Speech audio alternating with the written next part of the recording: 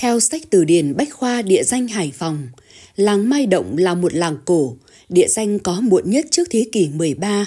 Theo danh sách làng xã thời Nguyễn, làng Mai Động thuộc Tổng Trúc Động, huyện Thủy Đường, đời vua Đồng Khánh triều Nguyễn, kiêng húy đổi là Thủy Nguyên, thuộc phủ Kinh Môn, tỉnh Hải Dương. Trong thời kỳ kháng chiến chống thực dân Pháp từ năm 1946 đến năm 1954, huyện Thủy Nguyên nhiều lần bị cắt đi chuyển lại giữa tỉnh Kiến An, Quảng Yên và Hải Phòng.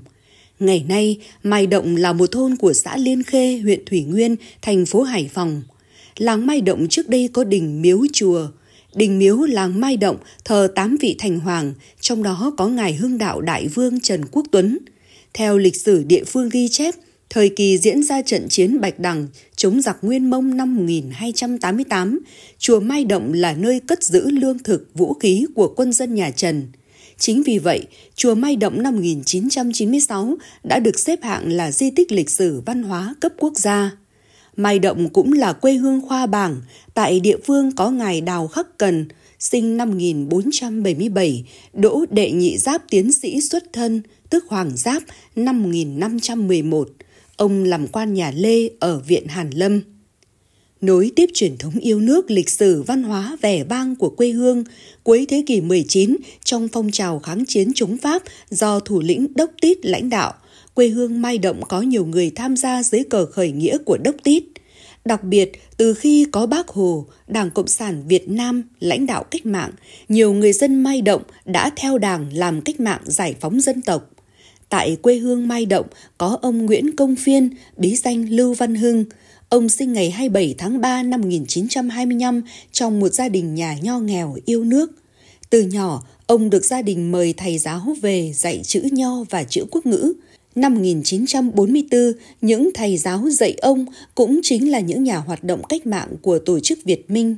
Ông đã được thầy giáo giác ngộ cách mạng và được tổ chức Việt Minh giao cho làm nhiệm vụ liên lạc. Ông đã bảo đảm được liên lạc chặt chẽ, giữ được bí mật an toàn tuyệt đối cho các thành viên và tổ chức Việt Minh ở địa phương. Cách mạng tháng 8 năm 1945 thành công, ông được tổ chức giao nhiệm vụ làm bí thư Việt Minh, bí mật hoạt động cùng chính quyền nhân dân xã Lưu Kiếm, gồm xã Liên Khê, Lưu Kiếm hiện nay. Sau ngày toàn quốc kháng chiến, tháng 12 năm 1946, Ủy ban Hành chính và các tổ chức cách mạng chuyển sang hoạt động bí mật – ngày 10 tháng 5 năm 1947, ông được huyện ủy Thủy Nguyên đóng tại Tràng Bạch, Đông Triều, Quảng Ninh và An Sơn, Thủy Nguyên kết nạp vào Đảng Cộng sản Việt Nam. Ngày 10 tháng 9 năm 1947, tri bộ đảng đầu tiên mang tên Vũ Hồng Thạch thành lập gồm 3 xã Lưu Kiếm, Minh Tân, Liên Khê, huyện Thủy Nguyên. Ông được cấp trên chỉ định làm bí thư tri bộ. Tri bộ có 8 đảng viên, Tháng 7 năm 1949, do hoàn thành tốt nhiệm vụ, ông được bầu làm huyện ủy viên và được trên phân công làm việc tại huyện ủy, huyện Yên Hưng, tỉnh Quảng Yên. Sau đó, ông làm bí thư chi bộ xã Phong Cốc, kiêm phụ trách khu vực đảo Hà Nam.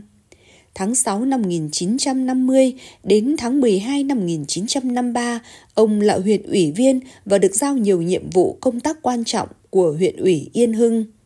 Ngày 1 tháng 1 năm 1953, trong chuyến đi công tác tại vùng địch hậu xã Phong Cốc, ông bị thực dân Pháp bắt. Chúng đưa ông về giam giữ tại căng đoạn xá Hải Phòng.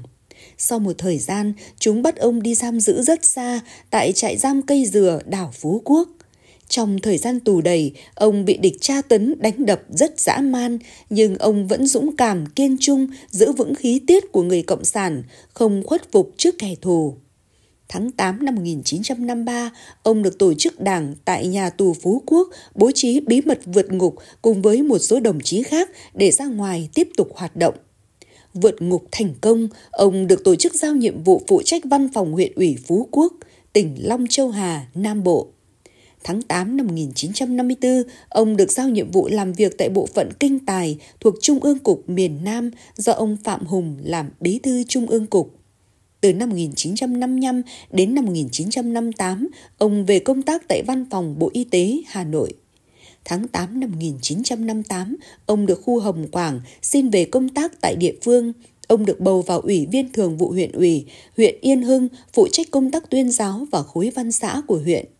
tháng 1 năm 1963, ông được điều về làm trưởng phòng hành chính của Ti Thủy Lợi, tỉnh Quảng Ninh. Sau đó, ông đảm nhiệm chức vụ bí thư đảng ủy, chủ nhiệm công ty xây dựng công trình thủy lợi tỉnh Quảng Ninh.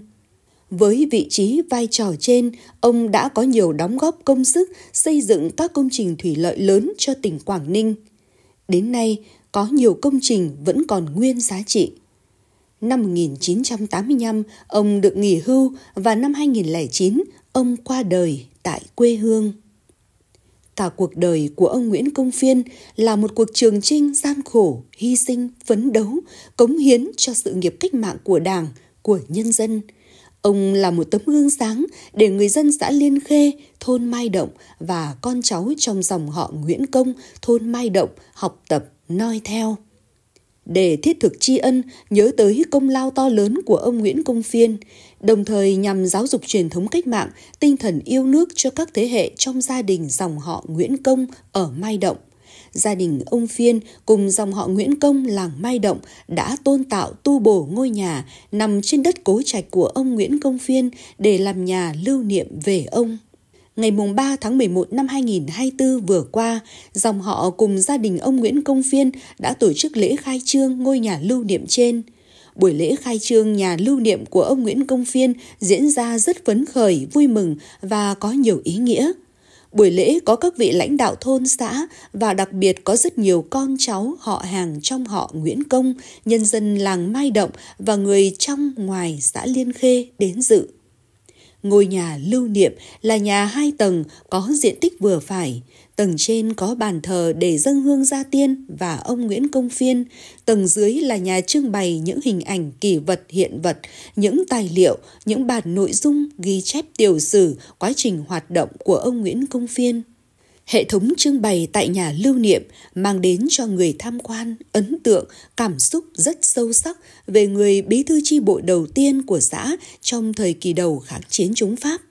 Mọi người thấy rõ hình ảnh của một người cán bộ cách mạng sống, hy sinh, phấn đấu vì nước, vì dân.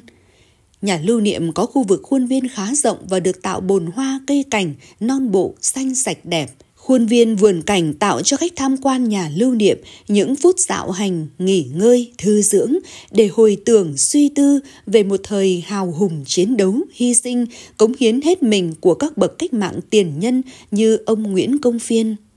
Sự hy sinh, chiến đấu, xây dựng và bảo vệ Tổ quốc của nhiều thế hệ cách mạng tiền nhân để chúng ta được sống hòa bình, hạnh phúc như ngày nay. Nhà tưởng niệm rất có giá trị trong việc giáo dục tại chỗ, gần sát và mang tính thiết thực nhất cho mọi đối tượng trong gia đình, dòng họ và cộng đồng làng xã.